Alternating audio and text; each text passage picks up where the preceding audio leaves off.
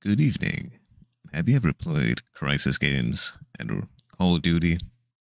If you have, you probably wish you could play both at the same time, but with a sexy character with great fan service costumes. Just like any other person would wish for. Let's get into it.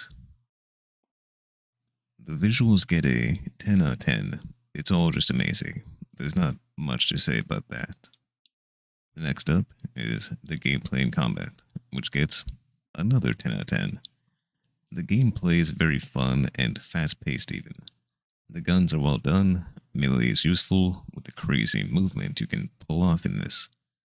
If you ever wanted to be female John Wick, that parkour is like Neo from The Matrix, this is the best experience for that, with the neat upgrades you can get.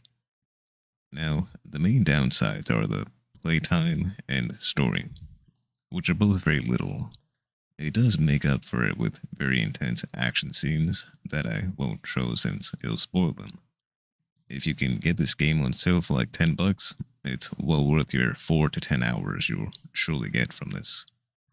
I just wish Call of Duty would look and play this good, with the extra fan service too, of course. That's this review.